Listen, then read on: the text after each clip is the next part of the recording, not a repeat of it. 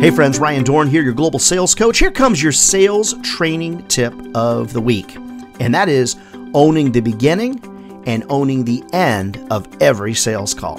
Hey, if you've been doing this like me for 30 years, you recognize that normally the beginning of that sales call is a little awkward, like, hey, did you watch the Olympics last night? Or, hey, did you see the news on this or that? And that can kind of always, it can get a little negative depending on who the person is or what's happening in the world, right? Hey, how's that weather?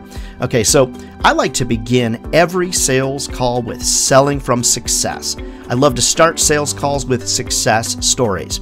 Hey, Bob, hey, Julie, can I share with you a couple of success stories of customers just like you, that we've been helping? Would that be okay? Now I validate time, I set an agenda, and then I get right into my success stories. Okay, so that takes care of the front of the sales call. Now, how about the end of the sales call? The end, I like to use my 1 to 10 closing technique. You've heard me talk about it before on the podcast. 1 to 10. Hey, Bob, you know, thanks for the time today. On a scale of 1 to 10, 1 like, eh, you're not really that interested. 10, you want to give me a check right now. Where are you at? If he says, hey, Ryan, you know, I'm a 5. Okay, cool, Bob.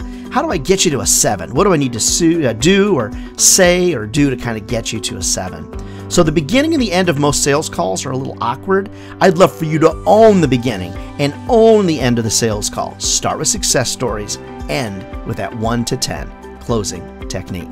Hey friends, don't forget. I mean, if sales was easy, everybody be doing it. Okay? It's not easy. It's a great job and you found a career, friends, that'll feed your families for a lifetime. Hey, if I can be of help to you, speak at your conferences, for your national sales meeting, whatever, reach out to me, Ryan at ryandohrn.com.